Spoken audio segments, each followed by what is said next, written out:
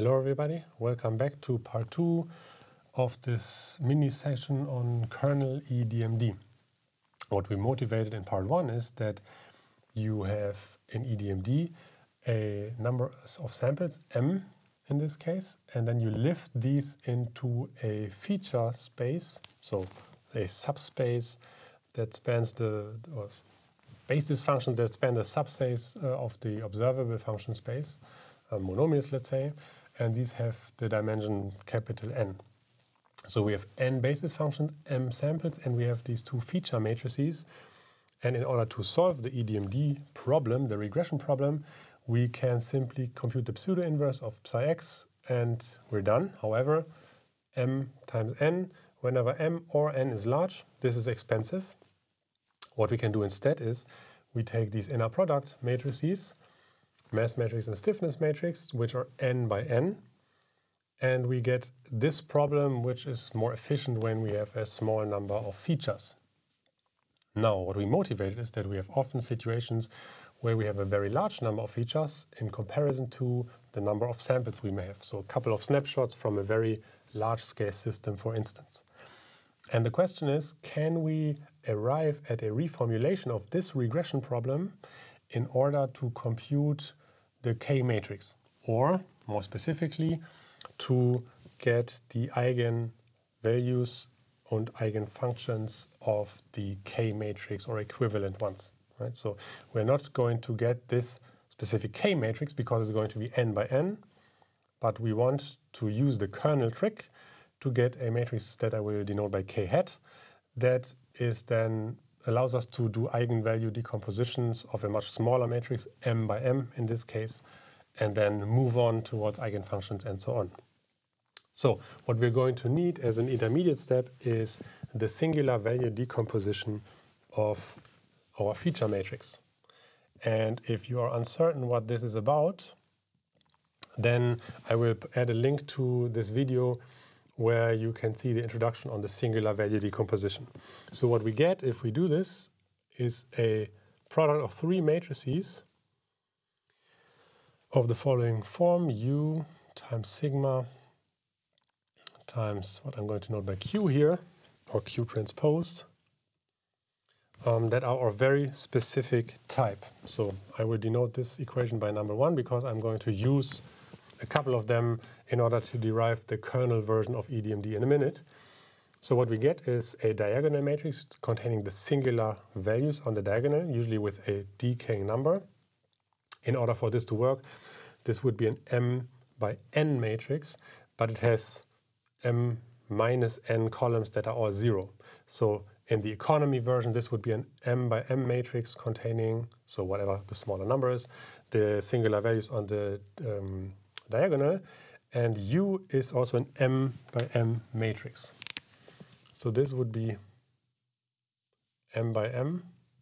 So M basis vectors for this space and also M singular vectors on the diagonal that tell us how relatively important these basis functions are in reconstructing the data. And then this Q matrix, which would be m by n in the economy version, excuse me, m by n in the economy version would be, so to speak, the coefficients that allow us to reconstruct the individual columns. All right, so we have the SVD, and this has some very, very nice properties. What we know is that the columns of U and also of Q are pairwise orthonormal, which means that we have U transposed U is equal to U, U transposed equal to the identity matrix, which means well, this is an orthogonal basis or orthonormal basis even, um, and the same holds for the Q matrix. Q is equal to Q, Q transposed, also the identity matrix. And this is very nice because inversion is simply uh, realized by taking the transpose. And inverting this matrix is also easy because we can simply invert each element on the diagonal individually. Okay, and if there are zero elements, usually what one takes is the pseudo-inverse, which neglects all the zero components. So I'm going to use the plus sign for the pseudo-inverse in the following to denote that whenever some of these values should be zero, which means the basis vectors are irrelevant for reconstruction, this means reducing it to the non-zero spectrum. Okay, so what can I do now? I can use the SVD and reformulate this regression problem by simply adding this um, SVD into the calculation. Okay. So what I, can I do is so I'm, i have to take the pseudo inverse of this matrix and what I get is the inverse of the individual entries and then the order reverse, so standard rules of linear algebra. Um, this means that I can simply, by using this equation 1, insert this and then inversion means transposing by these for these orthogonal bases and then reverting the order. So what I get is q times the inverse or pseudo inverse if we have zero entries, um, u transposed times psi y. And you see exactly that this is this expression and then the pseudo inverse. All right. So we have this, and I'm going to give this a second number because this is what we're going to need as well. Right, and now we can continue from here by simply computing the specific expression for q, which we are going to need later on. So let's compute what q means, and so I simply have to, um, oh no, excuse me, what I'm going to use is I'm going to use this one, so I'm going to express q in terms of the feature matrix and these two matrices. So I can multiply by u transpose from the left, by the inverse of sigma from the left, and then taking the transpose. So what I'm going to get is q is equal to, and again I'm using equation 1 here, um, sigma inverse u transposed psi x transpose. So exactly what I said, right? You multiply from the left with u, from the so u transpose, excuse me, then with sigma inverse, this is what we see here, and then you take the transpose to get q out of the q transpose. So what we get is, and then I can wrap this up or multiply this out, what I'm getting is psi x transposed u sigma inverse. Transposing this is it's a diagonal matrix, so it's no need. Um, and this is what I'm going to denote equation number three. All right, so we're almost there. And from these, we can then, this is the goal, reformulate the eigenvalue problem for EDMD. One thing that we need to remind us, though, is to argue why eigenvectors of the K matrix can be expressed in terms of a basis that is, that is defined by this Q matrix. Okay, and so this is. I'm not going to go into the details. Um, again, this all of this is based on a very nice paper on where the original kernel EDMD was proposed. I'm going to add the reference to the comment, um, where it's argued why you can do this. So it's basic linear algebra rules that tell us that the range of the K matrix, so basically all vectors that you can create by the column space of, of the K matrix is a subset of the range of the feature matrix that I, uh, we used in the construction process. Okay, so what it means that I want to have an eigenvalue problem from here. If I take a basis for this expression, then I can use the basis for this expression to express everything that lies in the range of k. Okay, and so by this argument, I can define that an eigenvector of the K matrix, which I will be denote by psi, as we have done before, can be um, created by the basis Q, right? So for the transpose, basically, if I transpose um, this expression, I get Q as my basis. Excuse me here, right? For psi, this is the basis. For psi transpose, this would be the basis. So I can take the basis times the Q hat. And this is what I'm going to denote by equation number four. Right, and so this is a basis for this range. So what it means is, um, due to this observation, that whatever can be spanned uh, or lies in the range of the K matrix lies also in the range of this. A basis for this allows us to express everything that lies in the range of K. So if the eigenvector of K lies in the range, obviously, what we can do is we can use a basis for this one and express every eigenvector as a linear combination of these basis vectors. So a lot of talking about the preliminaries, but what we need now is the singular value decomposition of our feature matrix. Then we have reformulated our Koopman regression problem in terms of the SVD.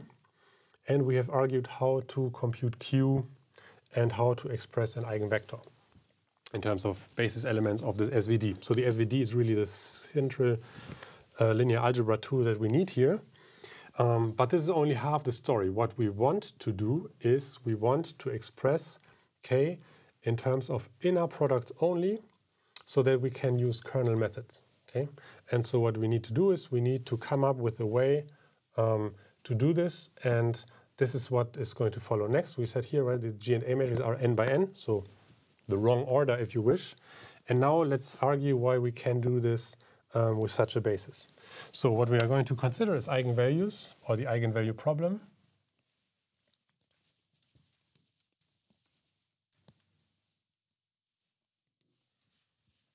Lambda psi equal k psi. So just swap the order than usual, but this is really K matrix times eigenvector is lambda times eigenvector. So the classical eigenvalue problem for the K matrix, but K is n by n, so it's large. Now what I'm going to do is I'm going to insert all sorts of equations that we have given numbers here. First of all is I'm going to replace the psi by the q times psi hat. So it's a representation in the q basis. And then I'm going to add this definition for the K matrix. So what I'm getting is lambda times q psi hat, and this is using equation 4, is equal to, and now I'm using 4 and 2 to replace the k matrix. This is q sigma inverse u transpose y. So what I'm getting is q sigma inverse u transposed y feature matrix Y times again the Q sigma hat, which is my psi. Sorry, Q psi hat. So this is my K matrix. And this is my psi. And this is also my psi here. So simple usage of two of the equations that we have derived here. And what we can do now is we can also use equation 3 to get rid of the Q matrix that pops up here and here. Why? I will show you in a second. Okay, so um, well, this was 2 and 4. And now we are going to use 3 to see whenever we have a, a Q matrix inside, we can replace it um, with this expression. Okay, so I'm going to leave the first Q because this can be simply erased from the equation later on. So what we have is this one, sigma plus or pseudo inverse u transposed. And then we have psi y. And now for this q, I'm inserting this definition. So what I'm getting is psi x transposed and then u sigma plus.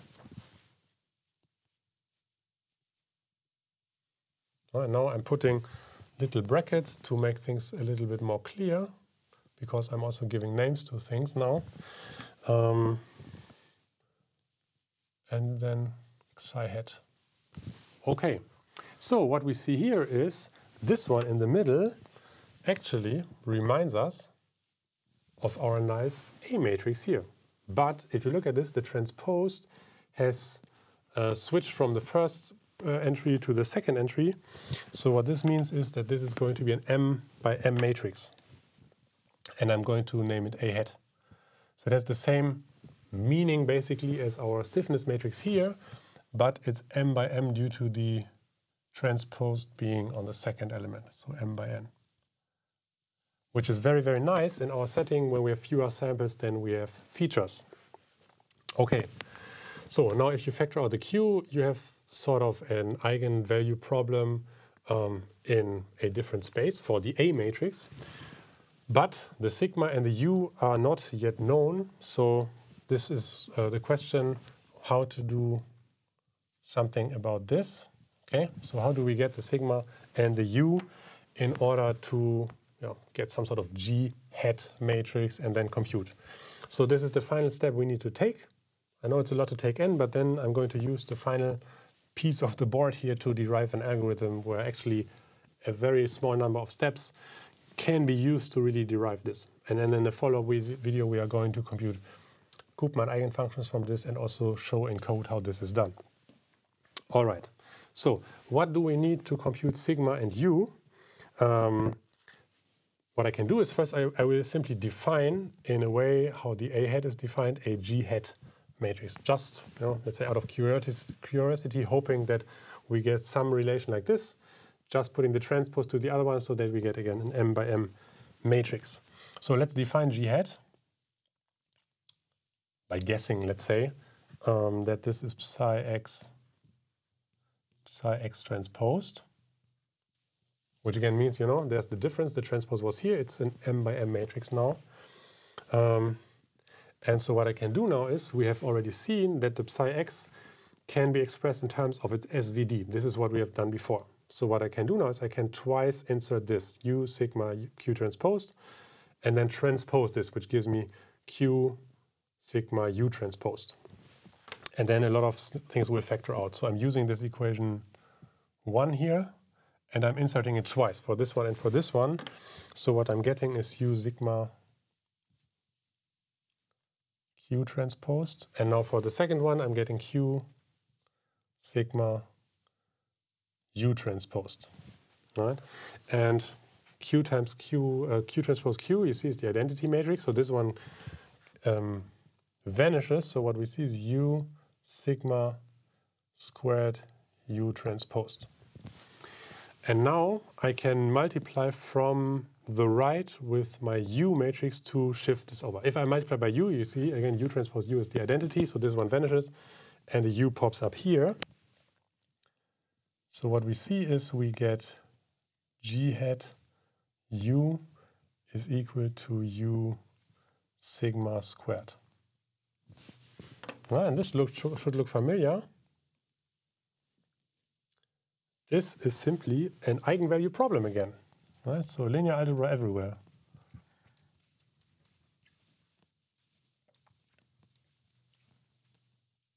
And we like this one because it's an m by m, and we have said that the number of samples is smaller.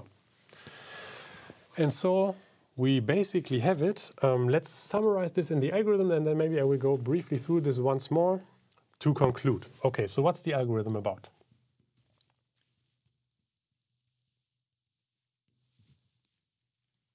First of all, um, step one is computing A hat and G hat.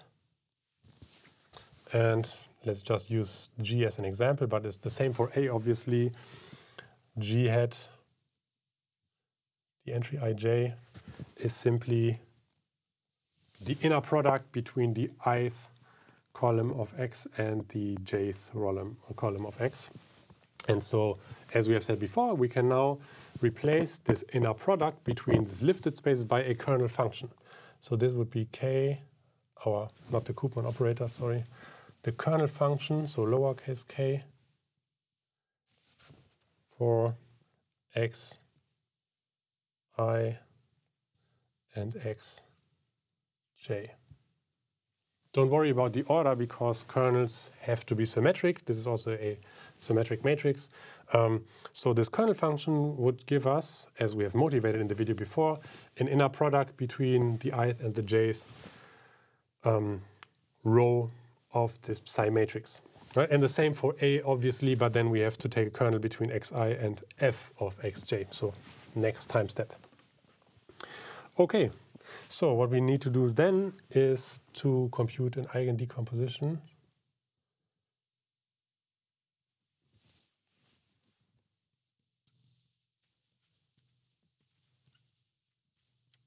of the G matrix, which will give us U and sigma. This is what we have motivated here, right? So we build these A and G matrices only inner products, only kernel evaluations, m times m of them. Um, and then we can uh, solve the eigenvalue problem for the G matrix.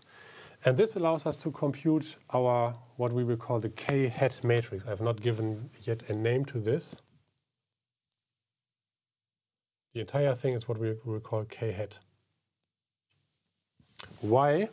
If we look at this, this is lambda q psi hat, q k psi hat. And so this is a scalar, I can shift it in. If I erase the q, what I would get from this is lambda psi hat equal to k hat psi hat, right? So this is the eigenvalue problem that we want to solve so that the allow us, if we knew the spaces, to reconstruct the psi, so the eigenvector of the large K matrix, and then use this to compute the eigenfunctions. So what we do is 3 calculate k hat using this expression here. And then we are basically done. We can use, again, another eigenvalue problem of the k hat matrix.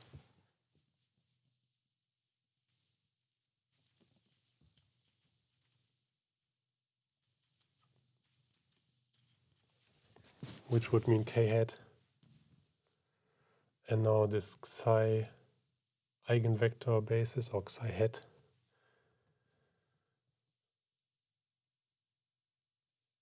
lambda. Okay, and so now what you see is a rather lengthy derivation, but really in the end it's not very hard. What we do is we define a kernel, we compute A and G, very similar to A and G before, but now it's using kernel evaluations. We do an eigendecomposition of the G matrix. We compute the K matrix using the eigenvalues and eigenvectors of the G eigendecomposition plus our I hat matrix. And this gives us K, and then we can do an eigendecomposition of K hat in order to get psi hat and the associated Koopman eigenvalues. Okay, so coded up in a very few samples, and next video is going to be about how to use this for Koopman eigenfunctions. Thanks a lot.